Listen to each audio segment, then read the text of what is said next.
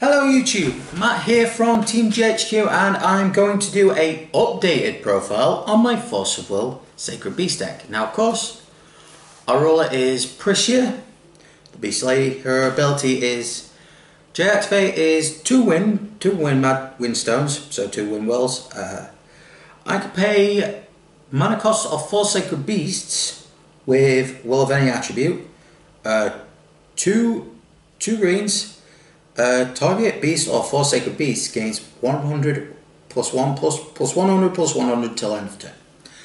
Uh, J rule side is this card gains target attack as long as I control a light resonator, swiftness as long as I control a fire resonator, flying as long as I control a water resonator, and plus 200 plus 200 as long as I control a wind resonator. So if I have all four Sacred Beasts on the board, it gains everything. It gains target attack, swiftness, flying, and is a 1000 1000, which is pretty fun.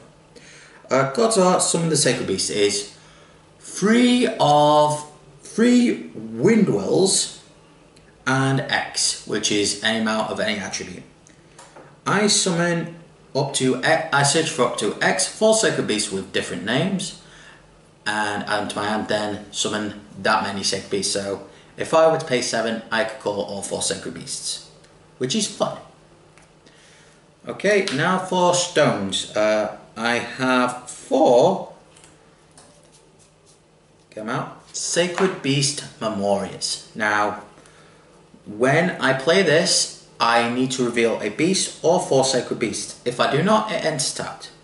I tap it for a green mana, that's Greenwell, sorry, Windwell, and a Windwell and tap it. Target four Sacred Beast or Beast J resin J slash Resonators.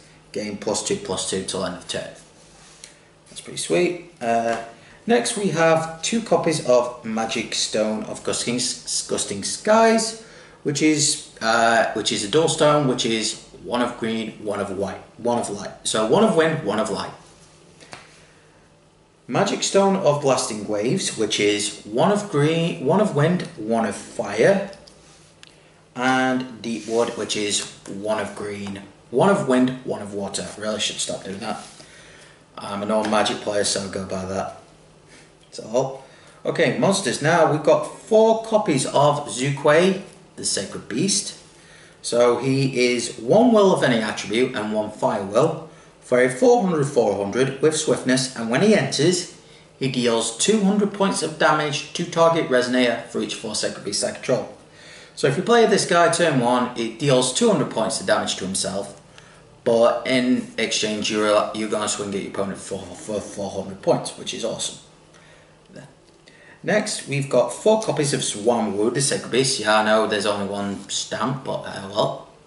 Uh, his abilities, when he's placed on the field, I can bounce target resonator to my opponent's hand if if the cost is equal to or lower than the number of four sacred beasts I control. And whenever this card blocks, I prevent the damage that will be dealt to him. That I will, I will prevent the next damage will be dealt till end of turn. So that's pretty fun. And he's a 5-7. Uh, Zwat Qinglong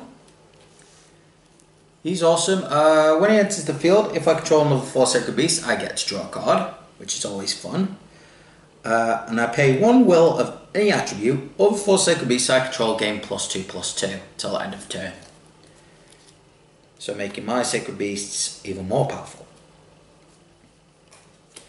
Next, I've got 4 copies of Baihu. Target attack, 6-6. So I can pick any Resonator to attack with, even if they're standing, which is awesome. And his ability is when he enters, I gain 200 life for every 4 Sacred Beast. Pretty fun. And we've got Priscia, Beast Queen of in Hiding. Now, her ability is pretty fun. Now, when she enters, I put an evolution counter onto target creature that target creature that doesn't have an evolution counter. Uh, if a spell or ability of my of my would would increase uh, attack or defense, it doubles the boost. So basically, oh, I play a card that gives my Prisia plus four plus four, doubles it to make it plus eight plus eight. Pretty fun. And then we got two of the new cards from the from the recent set. The Moonlit Savior, I believe it's called. Hang on.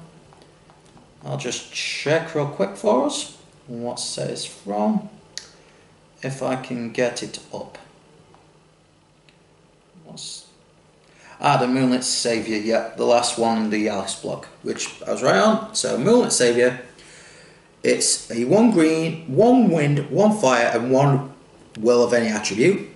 So, free drop for a 7 4 with swiftness, target attack, first strike. I could pay a wind, I could pay a wind well to give it flying till end turn. And when this card is put into a graveyard from your field, it deals 500 points of damage to your opponent.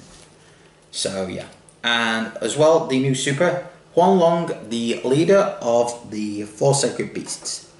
When this card enters the field, for each different attribute among all wills spent to play him, I may search my deck. I search my deck for a Four Sacred Beasts that shares the same attribute, that shares the sh same will.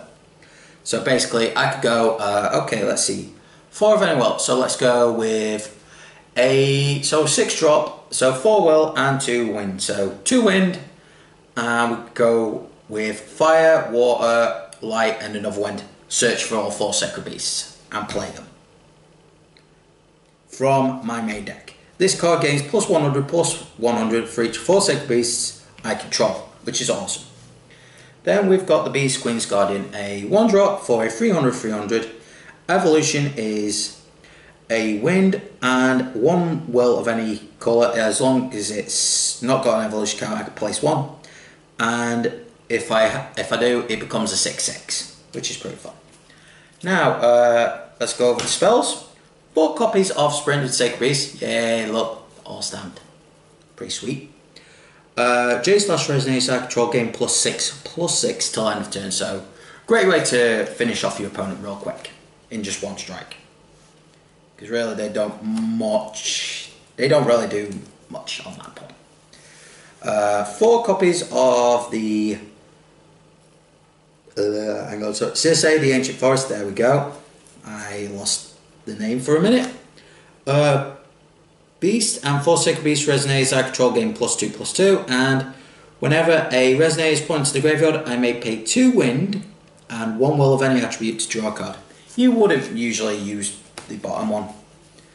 And two copies of another new card, Precious Call to Action. Now, I may pay a wind less to play if I'm targeting a beast. So, pretty much it's zero cost to play if I'm targeting a beast card. And its ability is target resonate gains swiftness and target attack until end of turn, and I draw a card. So for one, a one drops, pretty sweet. Four card, two copies of Holy Ground of the Four Sacred Beasts, which is when it enters, I choose one. I choose one of the options. I put a put a target Four Sacred Beast resonator from my graveyard into my hand or draw a card, and I pay one wind attribute, one will less, to play evolution abilities. As long as it's on field. Two copies of the Beast Queen Scout Chat. Now, I love this card because for two wind mana, attributes, well, sorry, target J slash resonator, I control gains plus 400, plus 400 till end turn. If I were targeting, uh, for example, let me just get the card real quick. If I were targeting Beast Queen hiding with this, uh, I play that, makes uh, Prisia for that turn 15-15 till end turn, and then I choose a target, I choose a target opposing J slash resonator, and we deal damage before attacking. So pretty much 15-15, uh, dealing damage to target J Resonator after that, uh, as soon as the boost is happening. Hang on, let me read the effect, sorry. Target J slash Resonate, I control gains 400, plus 400, plus 400 until end of turn. Then, that card and target J slash Resonator my opponent controls deal their damage equal to their attack to each other. So, that's what I mean. That's what I mean. So it's like 15, 1500 uh, Prisia dealing. I'll target your big guy. We deal that damage to each other. I kill yours off potentially. And lastly, for, for the regalia, I'm only running for for for Horned Sacred Beasts. Uh, we all know what it does. Tap for a free will. I use this on to play Sacred Beasts and I can tap it if my, my J roll gains plus 200 plus 200 until end of turn and if it's Prisia the commander of the four Sacred Beasts which is which is mine it gains imperishable till end of turn and banish this card to shuffle the stones in my so shuffle all my stones from my target player shuffles all magic stones from his or her graveyard into his or her deck then shuffles all the cards from his or her graveyard into a into the main deck. So pretty much I can play this refresh my whole deck apart from itself apart from the card itself. Anyway that's been my uh, Four Sacred Beast profile. Like comment subscribe if you enjoyed it. Uh, check out our Facebook page, the Team GHQ page, our Twitter at Team GHQ YouTube, the Shots Facebook page, Team GHQ, that sorry, Geeksec was, and as always, folks, happy gaming.